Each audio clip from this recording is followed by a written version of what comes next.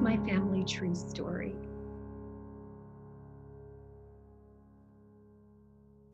I was born on the Mediterranean coast of Turkey, one of the most beautiful places on earth, in a town called Mersin. And I came to America when I was six years old, but I want to go back to the beginning, to my earliest memory of my grandmother and my great great grandmother, whom I had never met, but I was actually named after my great grandmother. Um, her name was Hatun, H A T U N. And Hatun in Turkish means lady, like milady. In the Ottoman Empire, the Sultan would call his, his first wife, the true queen, Hatun, which meant milady. And so I was named after my grand, great grandmother. My mother told me that she had a dream the night before I was born. And she dreamt that her grandmother came to her in her dream um, as an angel. And she had told her that she needs to name me Hatun. So that's where I came from. And then my mother, uh, my grandmother, actually, uh, her name was Fatma. And um, she was a powerful woman. She had 12 children, six of whom uh, survived. So my mother was one of six children. She was the second to the oldest. She w- there were two sisters and four brothers. Um, I grew up with that family my mother was married to my father and they divorced when I was born, actually.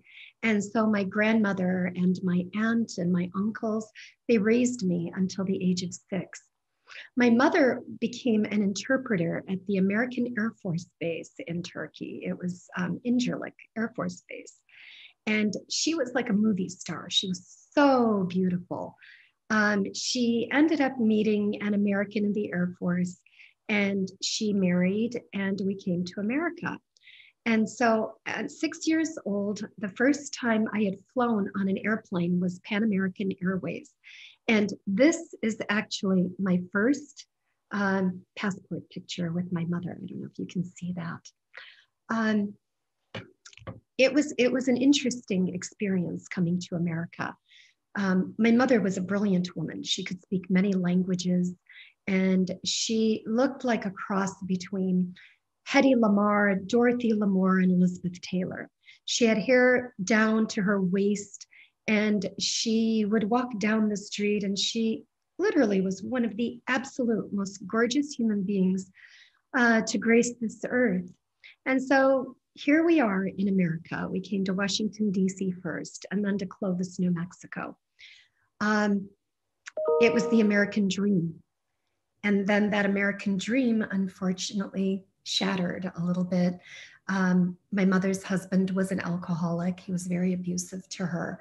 And I remember as a child, um, I was, I was, I saw a lot of this and I was saving my mother's life every time I turned around. Um, her husband would come home and he was drunk and I remember jumping out the window and calling the police and bringing them in. And this went on for, for years. And I grew up being the protector of my family. My mother had two children um, by her husband, um, my brother and my sister. And I raised them myself, basically, while my mother worked and finally was able to convince my mother to walk away from the marriage. And um, I helped her um, through everything. After school, I was babysitting. Um, it was an interesting experience. But going back, I want to talk about my father's family, whom I had never met. I actually recall just before we came to America, my father was standing in the doorway and he was handing my mother a piece of paper. And that was the only thing I remember of my father, this tall man standing in a doorway. Fast forward 40 years later, I met my father for the first time. I flew to Turkey and I took my children, they were 16 and 17 years old. And um, we went together and we met my father. And um, I learned that I had a brother and two sisters from my father's um, marriages after he was married to my mother. And um, it was interesting because all of a sudden I could see myself in this person, his mannerisms. Um, he loved to cook. And here I am, 40 years old. He was trying to feed me with, with his own hands. He would cook and he was, he was so excited to meet me. Um, so it, it was an interesting experience. And so I, I didn't know anyone from my father's family. I didn't know my grandmother. I, I, had never met my grandfather. I didn't meet my aunts and uncles. So it was it was a very profound experience for me to meet this man who who was um, the other half of the reason that I exist. And so I had asked him to tell me about my family. Where do I come from? Who are they? And a year later, he came to America and he brought me a gift. And it was my family tree. It was my ancestors going all the way back to Adam and Eve, actually, because in, in Turkey and back in that part of the world, they believe that your family tree goes all the way back to the beginning, the origins. And let's see, there was Noah um, in my family tree, Adam and Eve. Um, but then there were poets and philosophers and artists. And one of them was Muhyiddin ibn Arabi. And he actually is one of the most renowned and famous poet philosophers um, in the Arab world. He was born in Spain and he traveled through North Africa all the way to Turkey and to Syria. And his mausoleum actually is in Damascus. And I was going to go there. I wanted to um, to to see his his mausoleum this very famous poet philosopher of the arab world unfortunately um, we can't go to syria right now but that was one of the things that touched me so deeply um, besides Muhyiddin ibn Arabi, there were other writers and poets and philosophers like Hatim el Tai, whom I had no idea who these people were. I didn't know very much about my culture. I didn't know very much about the Middle East because I was raised in America and I was an American. That's all I knew. Since I was six years old, I wanted to fit in. I wanted to be um, just like all the American little boys and girls. And I remember um, my mother put me in a Catholic school. It was the school next door. And when six months after they put me in school, the nuns called my mother and they said, You know, your daughter is not very bright. She doesn't speak, she just watches. She doesn't talk. She doesn't do anything. She just follows along. And so we may have to hold her back. And all of a sudden, I think a few months later, I began to speak English. And I don't remember, I don't recall um, the, the, the time where I didn't speak. It was it was like like organic somehow how children learn and I remember so badly wanting to be fitting in. Um, my mother would would um, send me to school with feta cheese and tomato sandwiches, and the other children had peanut butter and jelly. And I didn't know what peanut butter and jelly was. I remember seeing Wonder Bread and smelling it and to me, it smelled like chemicals because I was used to eating um, fresh baked bread from the oven, like French bread or Italian bread. There are so many tiny little things I remember from back um, during that time that was so different coming to America. And it was a time of, of learning. Um, once I began speaking, I, I absorbed everything. And I remember in fourth grade, I was I was um, on my way to the bus, and I got on the bus to go to school. And I remember these little boys um, were, were nasty little boys, and they wouldn't let me sit down. And they called me Mexican. And I remember going, wait a minute, I'm not Mexican, I'm Turkish. I had no idea that they were insulting me because to them that was an insult.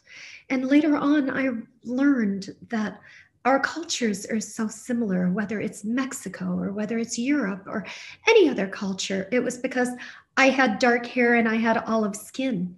And so um, it was it's interesting seeing that, but I I I grew up and I became me. I went through this this childhood raising two children that my mother had, um, becoming her mother in a sense because my mother was was um, she was always working and she tried to raise her children as best as she could, but it was very very difficult for her. And so I was the one. I was the rock of Gibraltar in the family. And I think that that was good for me because it taught me self sufficiency. It taught me how to survive in the world and it taught me how to thrive in the world. And I think that's one of the things that a lot of people don't understand. We may go through so many things in our childhood. Okay, I wouldn't wish my childhood on anyone, but was it bad? No, it was something that was. Am I a victim? No. Am I a survivor? I don't want to say that. I'm just a person. I um, I believe that whatever is given to us, we take it and we flow with it.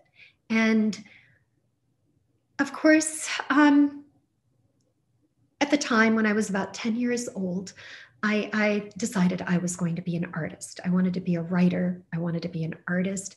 And now I realize why I wanted to be an artist. I wanted to design my life the way I choose to. One of my favorite quotes is from a book that I read many, many years ago. Um, and the quote was We all choose what we wish to be. No one impels or compels us. The same wind which blows a ship on the rocks can just as easily blow it into safe harbor. In short, it is not the wind, it is the set of the sail. And for me, that, that quote is what I live by. Whatever happens in your past, whatever happens in your future, doesn't really matter. What's most important is what you're doing in the present. For me, I'm doing what I love. I love art. I love creativity. I love writing. I love poetry. And incidentally, I'm a poet. Did I know that my ancestors were famous poets? I didn't. I became a poet before I knew about Hatim El Tai. I became a poet before I knew about Muhyiddin ibn Arabi. Um, I became a poet because I wanted to tell a story. And I wanted to tell that story the way I know how with love, with, with creativity, with passion and compassion. And I think that's one of the things that um, is very, very important. This is my family tree story. Um, my name is Arica Hilton, and I am very grateful that you're here and listening to my story. I hope that I can impart a little bit of my life um, with you so that you can learn from my experiences, perhaps. Um, thank you very much, and I wish you all the best. Thank you.